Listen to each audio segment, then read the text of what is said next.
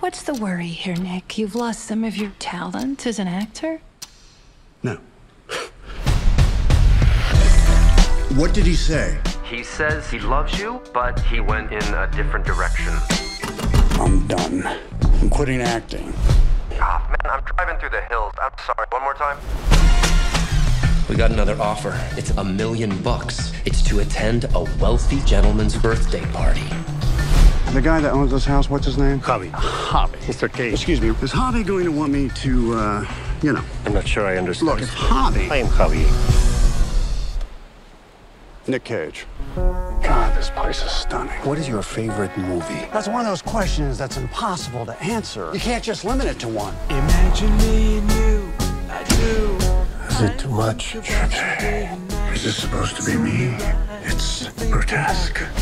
I'll give you 20000 for it.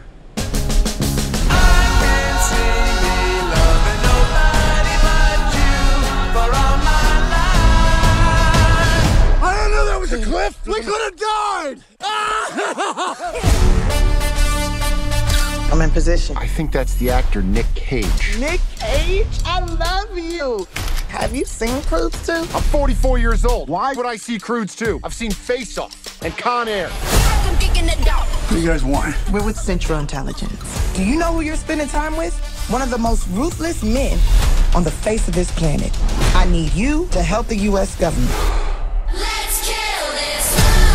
Find a way into that room, Nick. I can see myself doing more of this stuff. I think I might have a real gift for it.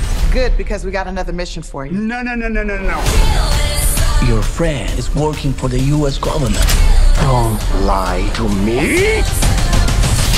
Are those my golden guns? They're my golden guns. I don't want to kill you. You're the last person I want to kill. I love you. I love you.